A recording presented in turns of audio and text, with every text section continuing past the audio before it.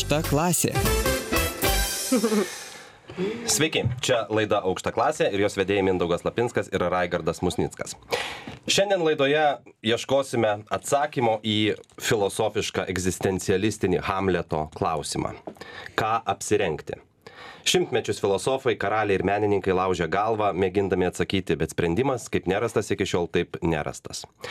Nesvarbu, kiek turi pinigų, drabužių ar batų porų, vis tiek ateis laikas, kai žiūrėdamas į spintą, supranti, jog nėra tokios kombinacijos, kuri tiktų būtent šiai progai, kuriai ruošiesi. Atrodytų aukštos klasės žmonėms be pigų kada tik panorėję gali nueiti į parduotuvę ir išsirinkti norimą kostiumą ar suknelę. Bet parduotuvė ne vakarėlis, publika gali būti bet kokia, face control dėja neįvesi. Kaip jaustis, kai už nugaros aptarinėja tavo išvaizdą, nužiūrinėja pirkinių krepšelį ar net bando užkalbinti ir papulti į akis. Kaip Vilniuje pirkti drabužius, kad kiti nesuprastų, iš kur pirkai? Jei gali sauliaisti, ar galima kompensuoti stiliaus jausmo trūkumą prabangiais prekių ženklais? Apie tai kalbame su stiliste, televizijos laidų vedėja ir žmogumi, žinančiu tiesą Agne Jagelavičiūtė. Labas rytas. Labas, Agne. Tai tiesiai už jauti už ragų griebiant. Jeigu neturi to stiliaus jausmo, bet turi daug um, eurų, kiek minimaliai reikėtų tų eurų įkišt, kad visiškai be nieko tave fotografuotų ir sakytų, kad esi labai stilinga? Uh, toks labai teisingas klausimas iš tiesų e, pirmoji mintis tarsi peršasi kad e, tikrai negalima nupirkti stiliaus bet tik iš tikrųjų tai netiesa tu gali pasisamdyti pavyzdžiui kokį nors labai gerą stilistą ir tikrai tada tau tu sužibėsi bet jeigu iš tikrųjų neturi Neturi eurų? bet jei neturi eurų galima irgi būt labai stilingam jeigu tu turi stiliaus jausmą o jeigu Ne, mes, mūsų, mūsų vis tiek Neturi stiliaus eurų. Ne, klausykit, mūsų, mūsų stoties vis tiek klausosi žmonės, kurie turi eurų, Gerai. kurie... Uh, ir Tada žiūrėkite. viena iš priežasčių, kodėl jie turi eurų, todėl kad jie niekada nesikreipia patarimų.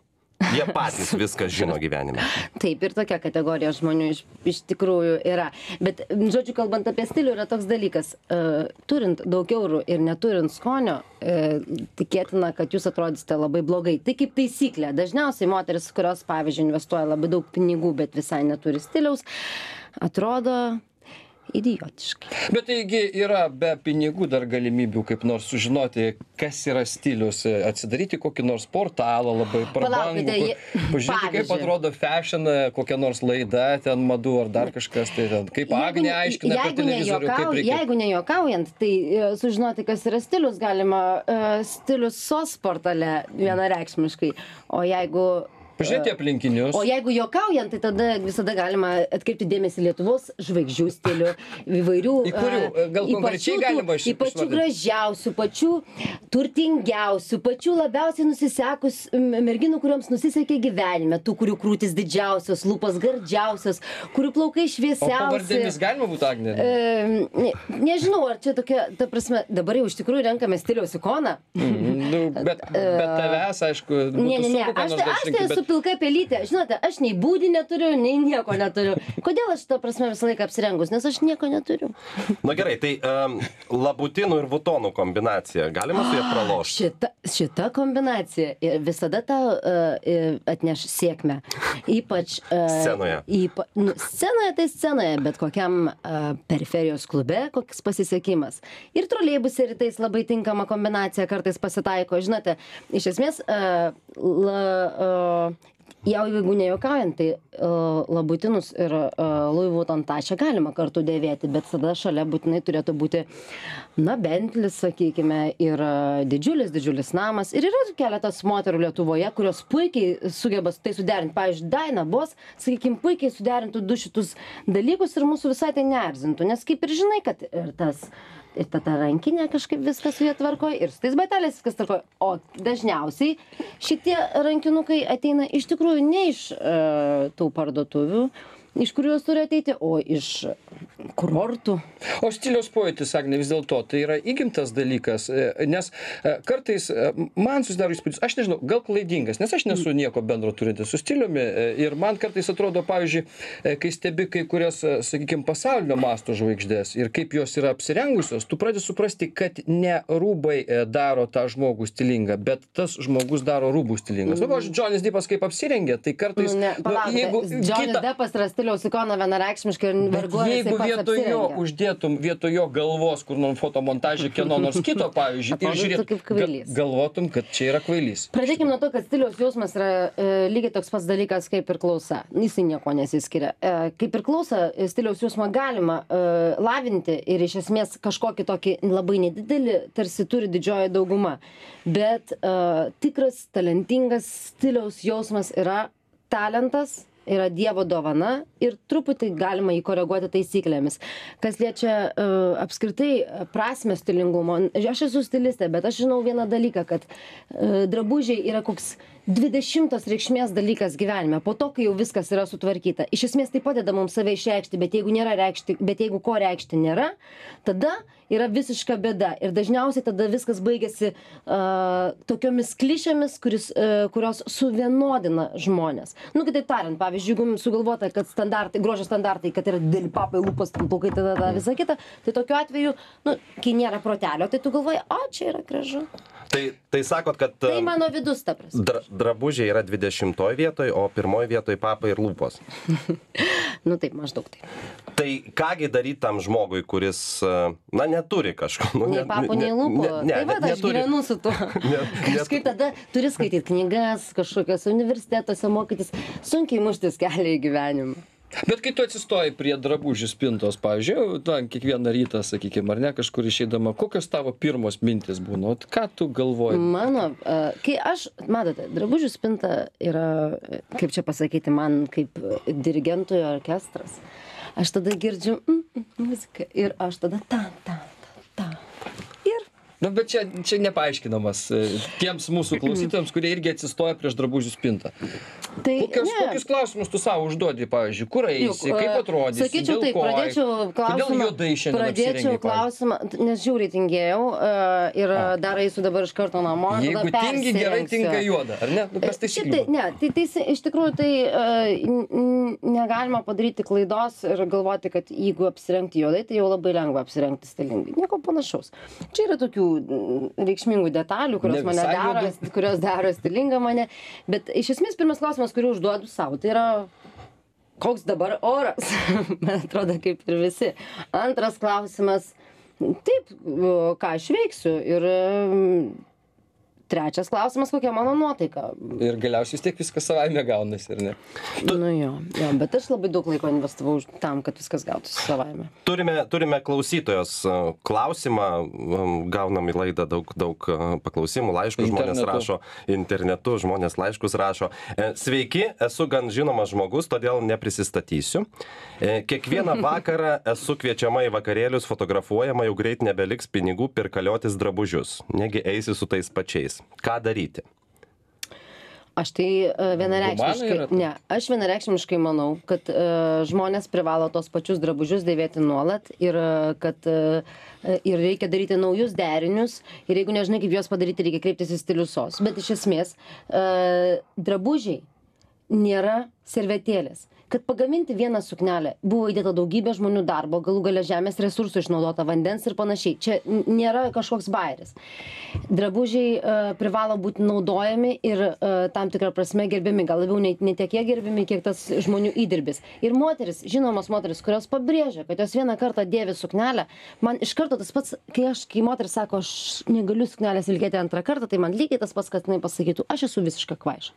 Nu žiūrėkit, nu bet ir- yragi, yragi Aš jam galėčiau, aišku, pavardėm. Bet Au, aukštos, aukštos klasės žmonių per mėnesį yra keturios savaitės. Jeigu eisi į visokius prieimimus, atidarimus trečiadienį, ketvirtadienį, penktadienį. O ko reikia Tai- sirgti, kad tai tik keturis vakarėlius? Nu, bet tai vis tiek- tai vis tiek Paaiškinkite man. 15 Ne. 15 Yra progų. tokių žmonių, aš e, ban- bandžiau kurį laiką stebėti, iš tikrųjų yra žmonių, kurie per savaitę nueina į, į keturis, penkis vakarėlius, kur būna, e, pradėkime nuo traktorių pristatymų ir baigime kiaušinių pudingo pristatymų. Ne, bet čia gal net susijusi kažkaip tai pramonė, bet kažkas čia dar, nu, dar um, lūpdažių pristatymas, sakykime, mane, ir jie visuose būna. Ypač labai patinka, kai vyras koks taip e, būna tuose visuose pristatymuose. Skirtingas. Bet, bet, bet ką rengtis tiem žmonėm, tai aš nežinau, nes aš nuoširdžiai galvoju, kad jiems niekas nepadės. Nei drabužiai, nei kas nors kita. Tai tegul jie rengiasi ką ten Ne, bet, bet, bet iš tikrųjų, kai, kai matai tos žmonės, kurie, e, na, kiekvieną kartą atrodo vis e, skirtingi. Jie tai- neatrodo visą laiką skirtingi, jie atrodo visą laiką tokie patys. Su kad kitais rūbais. nesvarbu, kad tu nesimato tų rūbų, va tame ir esmė. Tu visą laiką matai tą be galo idiotišką veido išraišką ir tu nieko daugiau negali padaryti, tu nematai, ką jis apsirengęs. Bet tai ką masto organizatoriai, kurie, kaip tu sakei, Aš manau, kviečia kad... vieni į lūpdažius, o kiti į Prancūzijos nemažai- dienas. Aš nemažai, aš nemažai šnekėjau apie, nemažai šneku savo Facebook'o paskyroje apie šitą faktą, kuris man yra visiškai nesuprantamas. Man atrodo, kad uh, nuo šioliai uh, turėtų mm, bet kokių normalių žmonių būti ignoruojami tokie organizatoriai, kurie pakviečia tos pačius žmonės į, nu, į, į visus vakarėlius. Iš esmės žmonės, ir- žmonės turi pasirinkti, nu, sakykime, pavyzdžiui, nu, kaip pa- pavyzdį, aš, tarkim, uh, mano darbas yra stilius, o mano hobis yra kulinarija. Į, į, į dvi šitas uh, sritis vakarėlių, jeigu aš turėsiu laiką ir jeigu man uh, uh, patiks ta kažkokia mintis, aš ateisiu. Bet uh, į kažkokio tai, nežinau, uh, traktoriaus pristatymą nu aš neįsiu, nes aš tiesiog nedirbu su traktoriais. Nu, nebent mane būtų užsakę sukurti ten traktoristam uniformą, bet tada aš jau tai kažkaip galėsiu paskelbti. Na ir, ir yra žmonių, kurie, pavyzdžiui, negali eiti uh, su, su tais pačiais labutinais į kelis vakarėlius iš eilės, tai jie nusiperka dešimt porų skirtingų. Užsisako internetu, e, čia kadangi tas keliusos reklamuoju, e, dabar galima reklamuoti AliExpress yra tokia nebloga svetainė Kinijoje, ten galima labai skirtingų modelių labutinų įsigyti. Ten negalima įsigyti jokių labutinų ir e, jeigu jūs perkate padirbinį, tai jau aš nemoku apsakyti, kaip jūs savęs negerbėte. Ir čia tai jau iš viso mano gyvenimo didžiausia kova, kurios niekas manęs nesupranta. Iš tikrųjų, Lietuvoje tos intelektinės nusavybės klausimas yra labai keistas ir žmonės, ir aš kartais na, socialiniuose tinkluose, šnekėdamas su moteriams, girdžiu tokį dalyką. Nu tai kam reikia pirkti tą Louis Vuitton brangiai, jeigu jis yra pigiai ir jis Taip. nieko nesiskiria. Ir tada aš suprantu, kad nežinau, nuo kurio galo pradėti aiškinti. Kiek Lietuvoje yra žmonių, kurie matydami tą vutoną ar labutiną supras, iš kur jisai pirktas?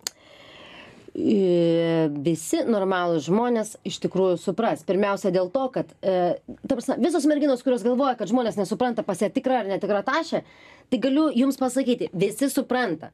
Nes šalia rankinuko už 3000 eurų eina tavo paltukas, eina tavo batai, eina tavo uh, automobilis, tavo gyvenimas, tavo vyras šalia ir tavo uh, gyvenimo Ir kokybė bendrai. Ne, vyras visa tavo, ne, visa, aš turiu omeny visą tavo gyvenimo kokybę. Tik tai žinot, kaip pas mus iš esmės yra daroma su tais rankinukais. Pirmiausia, tai šitą visą uh, tokio teigiamo ir gero tikro gyvenimo kokybę demonstruoja va tos jau mūsų apšnekėtos merginos, kurios iš tikrųjų turi tokią sistemą. Tai nėra tokia visai vien tik tai feikų sistema, kaip čia pasakius. Jos kol dar miega su storu dimonu ar šūdmaišiu, iš tikrųjų išprašo vieną tą tikrą tašę. Ir jie turi, ir periodiškai ją užsėda. a, į kažkokį vakarėlį. O visose kitose tarpuose jos dėvi šitas Turkijoje pirktas po 200 eurų Hermes tašes ir demonstruoja, kad neva tai tikros. Kadangi jos turi vieną tikrą ir 16 netikrų, tai kai jas užsipuoli dėl to, kad jos dėvi tas netikras tašes, jas tuoj tuoj pat traukia tą šūdmaišį užmėkotą tašę ir rodo jos etiketę. Tikra, tikra, tu matėjai, aš turiu tikrą. Ir taip metai iš metų jie tą pačią vieną tašę traukia, bet kas antrą dieną jos vis dėvi vis kitos spalvos tašę, kuri kainuoja 20 tūkstančių O jei- eurų, pavyzdžiui. Įsivaizduojate, 20 tūkstančių eurų už rankinę. Gerai, o, je, o, jeigu, o jeigu moteris turi, na, nežino, pavyzdžiui, ar čia tikra ar netikra, nu, padovanojo geras. Prisimenu vienos menininkės performance, tikrą, netikrą. Jeigu nežinai tikrą ar netikrą, tai nepirk. Gerai, Agne, žiūrėk, e, pamatėjai apie tai, kad e, su Vutonu pasižiūrėjai, kad e, šalia stovi Dimonas, tai supranti, kad čia matyt e, fejkas. Bet, e, na, eini į pavyzdžiui e, naujo banko kredito pristatymą. Ir ten ateina e, žymus bankininkas. Ir vieną dieną bankininkas su Rolexu, kitą dieną bankininkas su Omega. Ar e, ant vyrų pastebi tokius dalykus? Taip, e, gal ir pastebiu, iš esmės. e, Pavyzdžiui, matai, ką Raigardas užsidėjęs, Iš kokį laikrodį. Ne, dabar aš esu be akinių ir man tai yra per tolima pasižiūrėti.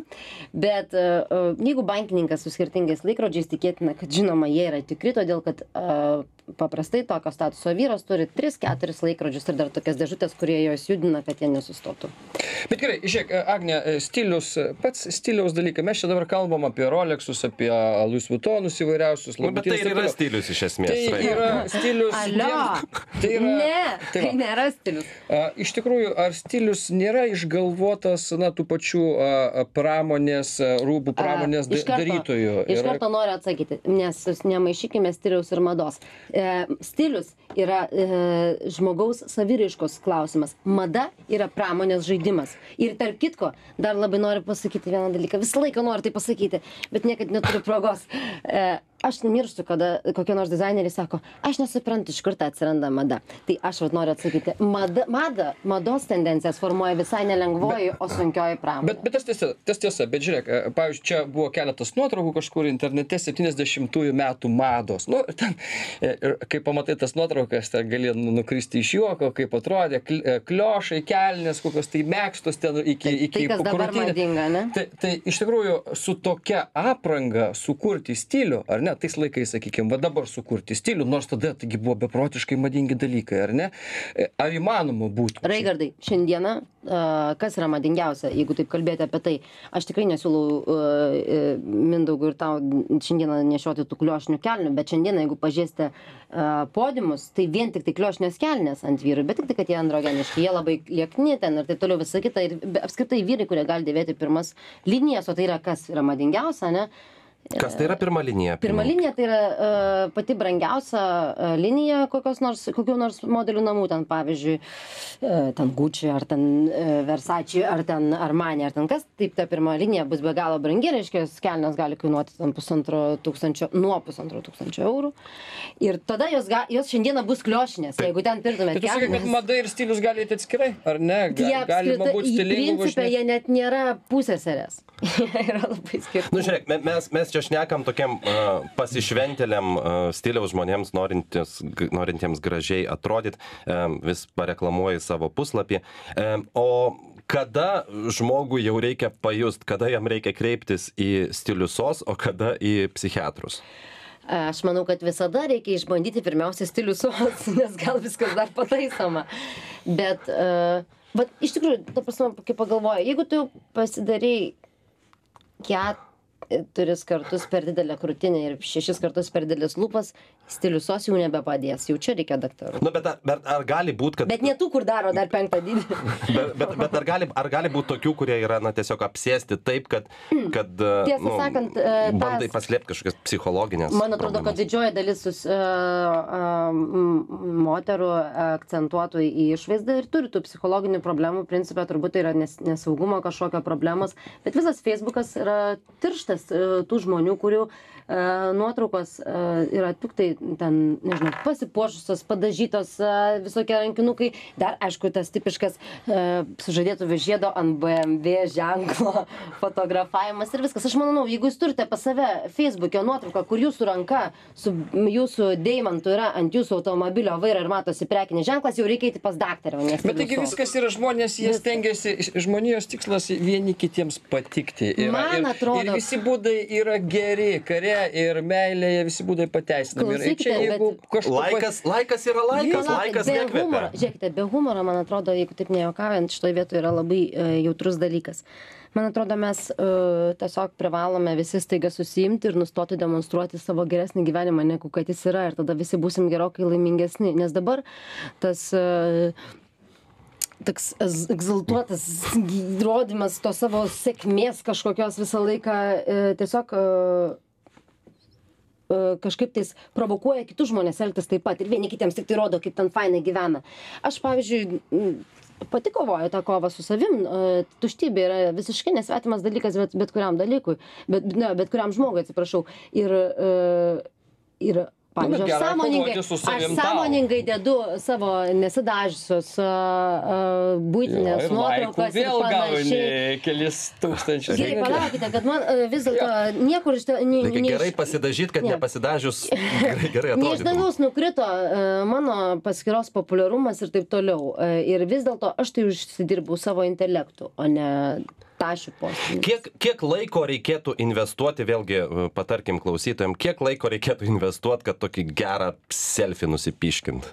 Aš, nemo, aš nemoku, aš, aš nemoku tų gerų selfių nusipiškinti, aš juos tokius gana natūralius dedu ir, ir viską, bet aš e, žiūriu, žiūriu, žinokite, Kardashianus ir mokusi. ką Ne, tai ten Kim Kardashian yra gi kiečiausia selfistė pasaulyje. Ir aš, pavyzdžiui, nesuprantu, kaip galima atsistoti prieš veidrodį ir nukalti tokį, kad atrodo liemuo ten siauras, šikna plati, lūpytės gražios, viską. Arba aš neturiu pavyksta? tam- pavyksta tau? Ne, nepavyksta, bet aš tuo metu. kodėl? Išsiaiškinai kodėl nepavyksta? Principe skiriu mažai laiko. Reikia treniruotis. Man atrodo kartojimas yra mokslų motina. Netgi žinojau kai tai lotyniškai ne neprisimenu repetitio mater stu- mater Est mater- studiorum mater studiorum. Taip, taip. Na gerai, tai, tai reiškia tom merginom, kurios nori įsidėti ir bent kokį mm, 70 laikų, tai ta- ties 50 čia jau tas lūžis turbūt yra. Kiek, kokį porą valandų reikėtų? Jie, ne, Prieš jeigu, veidrodį. jeigu tu turi, š- jeigu pas tavę yra labai nedaug tų draugų, tai tada, kad gauti 50 laikų, reikės nusimauti kelnaitę. Gerai, mes dabar padarysim pertrauką, e, pamėginkit nusimauti kelnaites ir tada po pertraukos toliau klausydami galėsit e, nusifotografuoti žinias. pertrauką tai vyks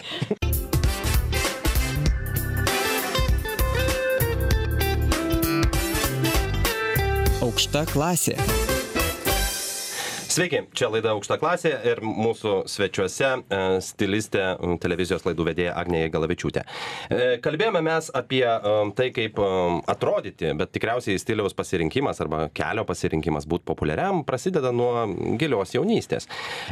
E, Tie, kam dabar yra um, 20-20 keli metai, e, nori atsidurti ant e, žurnalų viršelių, ką reikėtų daryti, kad e, po 10 ar 15 metų būtum Daina Bosas vietoje, o ne Raisos Šarkienės vietoje. ištekėti Tur- už boso Nu taip, tikriausiai. Iš Šarkio ištekėjo. Da- Dainos bos, turbūt kelias buvo toksai, bet, e, bet e, ir šiaip jinai yra be galo graži ir elegantiška ir ypatinga Šarkienė moteris. kai kam irgi. E, tai ne, jo. E, Šventoji. turbūt pasakysiu taip. E, aš žinau, kad tai skamba kaip kokios babutės pezesiai tokie, tenais mano, šit, mano šitas pasakymas, bet iš esmės e, vienintelis kelias, kad jūs patektumėte už 15 metų ant žurnalo viršelio, tai jūs turite daryti tai, ką mokate ir daryti tai labai gerai. Ir po daugelio metų įdirbio jūs ten pateksite. Iš esmės kito kelio nėra ant tų viršelių, Nu, nebent jūs esate supermodelis ar modelis. dailydė lab- stalius labai gerai dailindamas stalus ir toliau sunkiai paklius ant ant, viršelio o, o pas mus nėra Ypač šeimų. galėtų persikvalifikuot krūtų Aš manau, dailininku. kad yra, kodėl ant verslo klasės visai įmanoma patekti, ne? O kodėl? Ta prasme, aš manau, kad jeigu tu tapsi Ikėjos savininku tokios įmonės kaip Ikėja, bet pradėsi nuo dailydės, why not? bet Agne tu kiek kartų ant žmonių žurnalų 13 turbūt kartų buvo ir 14. 14 absoliuti Kas- rekordė primink- 14, primink- alio. Primink, kas 12 kartų yra buvęs arba kas mažiau. Natalija Bunkė. Na va, tai pasirodo, veda statistiką žmonės. Skaičiuoja. Žmonės veda. Kartais informuoja. Tai va, bet tu pati bent supranti, pavyzdžiui, kokie, kaip tau pasisekė būti 14 kartų ant Taip, aš viršelio? žinau. Kodėl? prasme, Taip. pirmi šeši buvo idiotiški. Dėl ko? Dėl nieko. O Ne, ta kiti? prasme, gerai, iš tikrųjų, e, be, be, be humoro, jeigu rimtai šnekant, tai nereikia galvoti, kad, e, kad koks nors žinomumas ateina tiesiog e, iš buvimo ar darimo kažkokių nesąmonių, nes eilė tokių žmonių yra, kur buvo, kažkur atsirado, žyptelėjo kažkokiam realybės šou, pasimatė ir mes nieko apie juos nežinome. Kada aš sudalyvau realybės šou, tai buvo pradžia, bet ant viršelio niekas tokių žmonių nededa. Ir iš esmės po penki metai po uh, realybės šou aš dirbau po 18 valandų per parą, mes dirbom tave pagalbą ir dirbom labai nuoširdžiai. Kaip tai, man atrodė ta laida, aš dabar net nepradedu ginčytis, nors aš, nes aš žinau, ką mes ten dirbom ir kodėl mes ten dirbom, bet tai buvo juodas ir sunkus darbas. Vėliau buvo dar dešimt kitų laidų ir kol, kai mane už pirmą kartą pakvietė ant žmonių viršelio, tai uh, aš žinojau tada, kodėl mane kviečia ir uh, dabar aš jau labai gerai žinau, kur aš atėjau aš nežiūrint į tai kad esu ganėtinai emocingas ir karštas žmogus aš esu esu ilgų distancijų bėgėja ir mano siekis žinomumas niekada nebuvo aš niekada nesvajojau būti žinoma niekada nei vienos Nu, tai čia nieko baisaus, žinomumas yra kitas dalykas, gi čia mes esame Ne, tai yra, klausimų tai yra- atsakymų ne, laida, tai yra- patarimų tai yra visokiausia. Tai yra pasiekmė o, įdirbio. Ir aš jau ten, kur aš dabar Žmonės esu. kažko neišnaudoja, kad pakliūtų ant Bėga, bėga, bėga žmogus ilgą distanciją, bet netgi ilgas distancijas bėgdama kartais um, daro klaidų. Ar yra tau buvę taip, kad uh, su to pačiu stilium, kurį tu valdai, uh, na, visiškai, visiškai nepataikytum į, į toną, Ir į ta taktą? prasme, o kaip tai, kaip tai atsitinka? Ne, pirmiausia, tai labai paprasta. Žmogus uh, negimsta mokėdamas ir kitas, dar, ir ta prasme, aš tikrai darau visokių klaidų ir gyvenime. Ir, ir man atrodo, va tame ir esmė, kad nu, nereikia vaidinti tobulų, nes mes tokie nesame. Ir tos, tik taip patys pagalvokite, kad stiliaus klaida yra tokia kvailystė. Tai yra taip, taip juokinga ir, ir nesvarbu, galima pasijokti ir iš savęs. Ir tikrai, tiesą sakant, esu uh, kvailai atrodžiusi ne kartą ir ne du ir šiaip visokių nesąmonių esu gyvenime pridariusi. Bet moterį, kurią gali žaisti faktas, kad jinai blogai apsirengė, tai aš nežinau, ką jai apskritai reikėtų su, su savo gyvenimu daryti, todėl kad normalaus mąstančio žmogaus faktas, kad tavo negražus Jonas įžeisti negali. Na gerai, Joną tu pasikeisi. paim- paimkim, paimkim, uh, paimkim, na tikrai uh, globalinę katastrofą, um, kaip tokia kaip Graikijos krizė arba na, antrą blogiausią katastrofą, ateini į vakarėlį ir pasirodo, kad dar kažkas su tokia pačia suknelė yra. Aš atėjus. iš viso nematau šitame dalyke problemos ir čia tokia, man atrodo, čia toks prigalvotas, nu, skandalas, kaip kad būna skandalas, pavyzdžiui, skandalas, Egelavičiūtė nusi, nusikirpo plaukus, labai dažnai anksčiau būdavo tie skandalai, kažkaip toks nesibaigiantis Tai skandalas. ką daryti, kai ateini su tokia pačia Tai suknelė? nieko, nu, nusisi, nusišypsot, pasveikinti ir pasakyti, kad jūsų yra nuostabus skonis. Viskas, visos žinios. Suknelės taip, jos yra gaminamos, tiražuojamos ir čia yra normalu susitikti žmogų apsirengusi taip pat. Tiesą sakant, vis tiek taip pat neatrodys. Čia net nereikia spręsti, kuri geres, geriau atrodė. Tai čia vapši. O tau gerai, tau Nesvarbu. gerai šnekėt, kai tu gali, žinai, tai pasakyti, ai, aš į nieką nebekreipiu dėmesio, iš tikrųjų man į viską čia jau yra, nes, na, aš tokio, tokiam lygiai esu, kad galiu savo ramiai leisti ir nusifotografuoti su kitu žmogum, kuris turi tokią pačią suknelę. Neturi Taip, apsirengęs tuo pačiu metu. Kaip ignoruoti, jeigu tu nesi e, tam tikro masto sakau, tiesiog džiaukitės, kad kažkas dar išsirinko tokią pačią suknelę kaip jūs. Reiškia, ta suknelė tikrai labai graži, ne jum vienai. Agne, e, esu, esu, esu tave ne kartą ir ne du e, matęs, nu, nepasisveikinom tada e, iš parduotuvėse. E, Nežinau, ar ten tu buvai, ne tu buvai. bet- Panevėžy? bet Ką, ką daryti? Panevėžy? Iš parduotuvės čia turite omeny SH, second hand. Na, second hand. Ką daryti, Aš tikrai ką, ką, esu ką daryt, kai susitinki kaimyną? Ne, gerai, e, e, kai susitinki kaimyną tokioj situacijai. Arba žmonių e, žurnalo susi- redaktorius. E, Žmonių žurnalo redaktorė, tai iš... Neteko e, susitikt? nu, Nors ji labai yra stilinga moteris, bet nema, kažkaip ne, nemanau, nes tiesiog turbūt neturi laiko. Bet... Gal geriau vakarais eiti ten arba anksti rytą? kad Žiūrėkit, man atrodo, kad taip, uh, s, uh, iš uh, pirkti padėvėtus drabužius yra daugiau negu normalu. Aš jau kaip sakiau, tai drabužiai privalo gyventi ir jeigu vienam žmogui nusibodo, gali tikti kitam. Vienintelis dalykas, kurį aš kokį trūkumą aš matau uh, second hand parduotuvėse, tai tiesiog ten žiauriai brangu. Nu tiesą sakant, šiandieną, kada uh, fast fashion uh, parduotuvėse drabužiai kainuoja palaidinę, ten gali kainuoti, sakykime, 7 eurus, tai second hand parduotuvėse yra pigu. Aš prisimenu, kad nes kokia nors striukelė kainuoja 60 litų. Nu, aš dar nebuvau kada eurai, nemačiau kokios ten kainos, bet tikrai tenais apsilankau, man tai yra darbinė aplinka. O jeigu pamatai tenais kaimyną, žinot, ką reikia sakyti? Ar radai ką nors gerą? Parodyk. Madona perka second handuose, nieko tokio, galima ir tą pasakyti. kaip, Buvot ją sutikęs irgi, kaip fotografai. Humana. Apsipirkinėt, sakė, niekam nesakyti. Net, net, netgi, netgi, netgi jei vairuoji Bentley, Bentley ar Mercedesą, pasirodo nieko blogo nueiti į second hand. Tikrai nieko. Um, smagu už šitą patarimą ir pagra, e, padrasinimą. Mūsų laida dėja jau baigėsi. Tai e, kadangi jau tos second handus ir Norfas ir iš parduotuvės atidarė, reikia skubėti ten. E, Labai dėkojame Agnijai Gilavičiūtei. Susitiksime po savaitės. Ačiū Jums, likite stilingi. Čia žinių radijas. Likite su mumis.